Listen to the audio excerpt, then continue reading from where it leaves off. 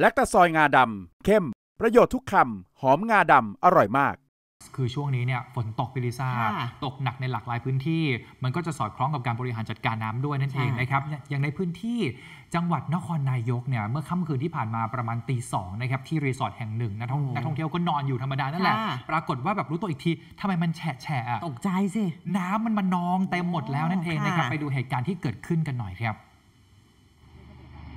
นี่แหละโอ้โหน้ำดักล้อมไว้หมดมาแล้ว ดึกๆด้วย ใช่ครับผม ค่ะเจ้าหน้าที่มูลนิธิร่วมกตัญญูเมืองนครนายกรับแจ้งนะครับ ว่ามีเหตุน้ำท่วมฉับพลัน แล้วก็มีนักท่องเที่ยวติดอยู่ภายในบ้าน จึงไปตรวจสอบพื้นที่ตำบลหินตั้งอำเภอเมือง นครนายก ที่บริเวณที่พักรีสอร์ทพบว่ามีน้ำไหลเข้าท่วมพื้นที่เป็นวงกว้างเลยนะครับ เมื่อเวลาประมาณตีสองแหละครับสองนาฬิกาค่ำคืนที่ผ่านมา แล้วนักท่องเที่ยวก็มาออกมายืนอยู่ด้านนอกกัน ก็เล่าให้ฟังเลยนะครับว่าเหตุการณ์เนี่ยมันเกิดขึ้นขณะที่พวกเขากำลังนอนหลับอยู่ในห้องพัก รู้ตัวอีกทีตอนที่น้ำไหลเข้าท่วมเตียงนอนแล้ว จึงพากันวิ่งออกมานอกห้อง เมื่อออกมาด้านนอกก็เจอน้ำไหลเข้าท่วมสูงเกือบ 1 เมตร แล้วก็ไหลแรงด้วยทำให้รถยนต์ถูกน้ำท่วมเสียหาย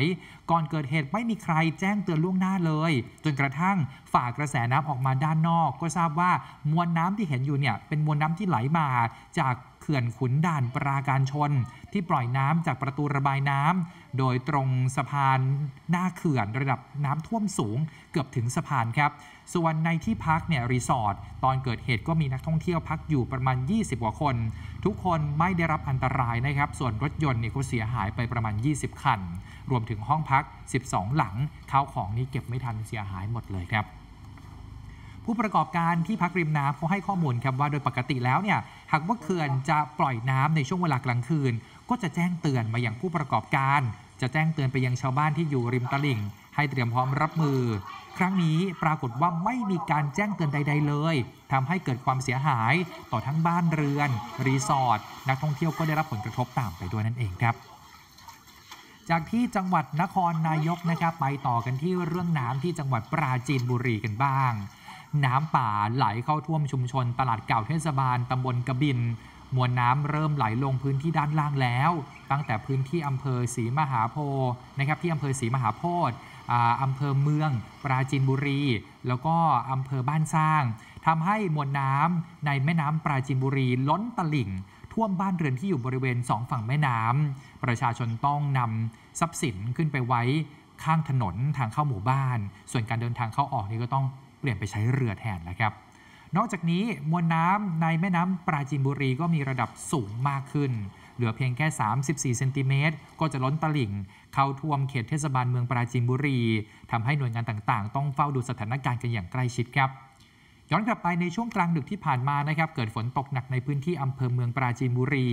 มีน้ำรอการระบายไหลเข้าท่วมโรงพยาบาลเจ้าพระยาอาภัยภูเบศด้วย เจ้าหน้าที่ได้ทำการติดตั้งเครื่องสูบน้ำบริเวณบ่อพักน้ำหน้าโรงพยาบาลเพื่อเร่งสูบน้ำออกแล้วล่ะครับส่วนสถานการณ์ระดับน้ำโขงนะคะ วัดที่ส่วนอุทกวิทยาหนองคาย กรมทรัพยากรน้ำเช้านี้ค่ะ วัดได้ 9 เมตร 36 เซนติเมตร เพิ่มขึ้นจากเมื่อวาน 1 เมตรครึ่ง ขณะที่สภาพอากาศโดยทั่วไปปกคลุมไปด้วยเมฆฝนค่ะ ท้องฟ้ามืดครึ้ม ฝนตกต่อเนื่องมาตลอด 2 สัปดาห์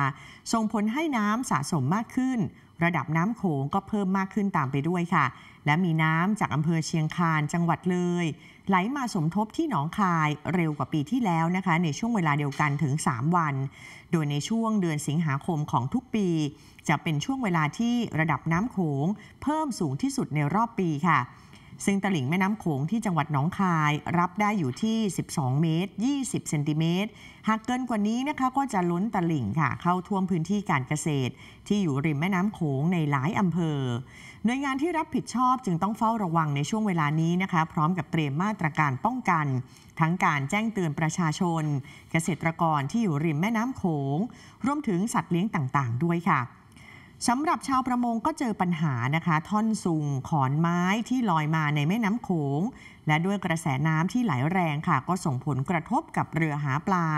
เมื่อมีขอนไม้มากก็ทำให้อวนขาด หลายคนก็เลยต้องหยุดหาปลาไปก่อนนะคะ ในช่วงนี้ รอดูสถานการณ์ก่อนค่ะ เพื่อป้องกันอันตรายที่อาจจะเกิดขึ้นได้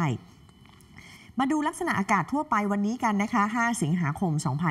2567 ไทยยังคงมีฝนฟ้าขนองค่ะ และมีฝนตกหนักทั่วทุกภูมิภาค จากอิทธิพลมรสุมตะวันตกเฉียงใต้กำลังปานกลาง ยังคงพัดปกคลุมทะเลอันดามันตอนบน ประเทศไทยและอ่าวไทย ประกอบกับความหย่อมความกดอากาศต่ำบริเวณประเทศเวียดนามตอนบน และอ่าวตังเกียโดยวันนี้ปริมาณฝนจะอยู่ที่ประมาณร้อยละ 40-70 ของพื้นที่ค่ะ ครอบคลุมใน 35 จังหวัด โดยขอให้พื้นที่เสี่ยงระวังอันตรายจากฝนตกหนัก และฝนที่ตกสะสมนะคะ อาจจะเกิดน้ำท่วมฉับพลัน น้ำป่าไหลหลากได้ ไปดูภาคเหนือกันก่อนค่ะ ภาคเหนือนะคะจะมีฝนฟ้าขนองประมาณร้อยละ 70 ของพื้นที่ มีฝนตกหนักบางแห่งค่ะบริเวณจังหวัดเชียงใหม่ เชียงราย พะเยา น่าน พิษณุโลก และเพชรบูรณ์ค่ะ ออกกันที่ภาคตะวันออกเฉียงเหนือครับ มีฝนฟ้าขนองร้อยละ 60 ของพื้นที่ และมีฝนตกหนักบางแห่ง บริเวณจังหวัดเลย หนองคาย บึงกาฬหนองบัวลำพู อุดรธานี ชัยภูมิ และนครราชสีมาภาคกลางมีฝนฟ้าขนองร้อยละ 70 ของพื้นที่ และมีฝนตกหนักบางแห่ง บริเวณจังหวัดสุพรรณบุรี พระนครศรีอยุธยา กาญจนบุรี ราชบุรี นครปฐม และสมุทรสาครครับ รวมถึงกรุงเทพมหานครและปริมณฑลด้วยนะครับ